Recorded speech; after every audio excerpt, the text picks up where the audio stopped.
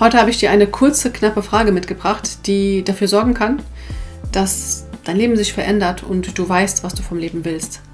Stell dir vor, du bist auf dem Sterbebett und um dich herum deine Liebsten. Und sie stehen da und du liegst im Bett und bist total erfüllt und glücklich und dankbar. Und dann fragt dich jemand, was hast du getan, damit du so ein erfülltes und glückliches Leben führen konntest? Nimm diese Frage mit in deinen Alltag und kommentiere gerne unten. Was denkst du?